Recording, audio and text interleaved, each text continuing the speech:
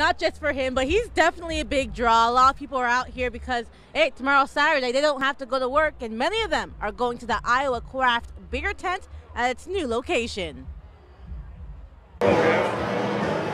When it comes to popular spots at the Iowa State Fair, We've come every year. Ali Payne and her friends say they have to agree the Iowa Craft Beer Tent is the place to be. We've got great craft beer here in Iowa, and we need to showcase all that great craft beer we're making here. And this year, there's more beer than before under the tent in a new spot, the southwest corner of the fairgrounds. We started to really get too tight in our tent. We're starting to kind of burgeon out of it. We just couldn't have anywhere else to go. So we started talking to the fair a couple of years ago about is there somewhere we can go that's a little bit bigger? Iowa Craft Beer tent owner Scott Carlson says it's heartwarming to see such growth as people constantly kept flooding in under the tent on Friday.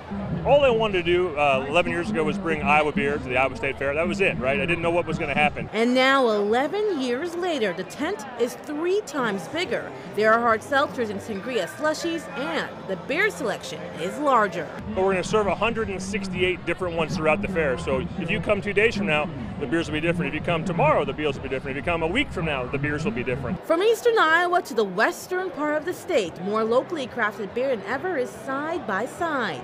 I think it's really great. It's definitely something that we can kind of expand our horizons with for sure. In between sips and laughs with friends, guests seem to have something to say about the changes to the well loved tent. Bigger and better, just more room, this is a better location. What is beer is happiness. You look at it, there's so many people out here enjoying these nice, fine craft beers that people in Iowa make just for us. And just like the fair itself, the Iowa Craft Beer tent closes at midnight for the next week and a half. Live at the Iowa State Fair, Kayla James, KCCI 8 News, Iowa's news leader.